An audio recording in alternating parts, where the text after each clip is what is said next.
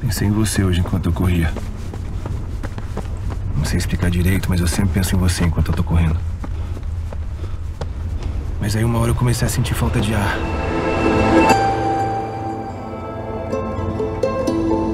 Com toda essa repercussão negativa, você e o Benkai vão passar por acompanhamento psiquiátrico a partir de quinta-feira. Isso vai ser bom pra vocês na hora do julgamento.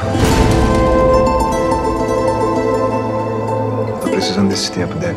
Você fugiu, é isso? Claro que não. O senhor conhece essa moça? Conheço não. Você não é daqui não, né? Não, eu tô procurando uma pessoa.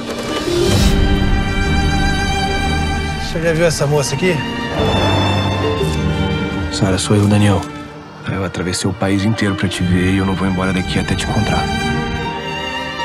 Eu não sei porque é que você sumiu, mas eu precisava falar contigo, sabe? Ver sua voz. O que, é que você quer com ela? Tem mulher lá no sul, não? Ela já falou de mim pra você? Se você é um fofo, acho que também dá muito medo dela. Foi por isso que ela sumiu. Isso você pode perguntar pra ela. Quem é você, Daniel?